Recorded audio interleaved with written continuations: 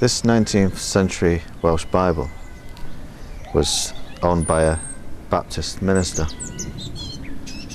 I came across this book a while back on the island of Anglesey. The minister, whose name was John Davies, served here at Llanican Med as a local preacher of Baptist churches. He's buried somewhere in these grounds, the burial place of his ancestors. He wasn't a famous minister by any means, but he was a man who served his local community with the Word of God faithfully. There's an inscription just near the New Testament title page.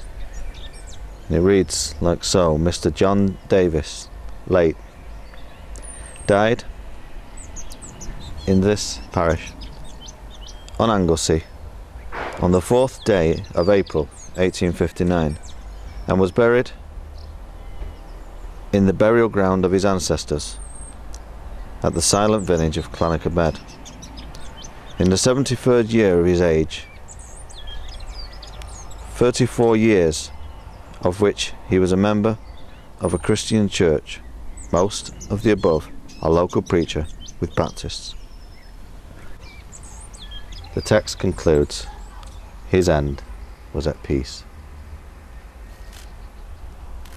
And it's stories like this which really make the Welsh Bible of great worth.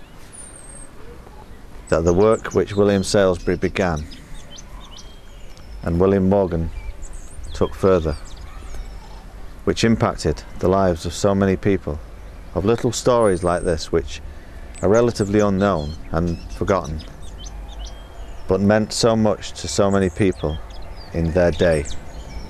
It really makes the Welsh Bible of the greatest of values.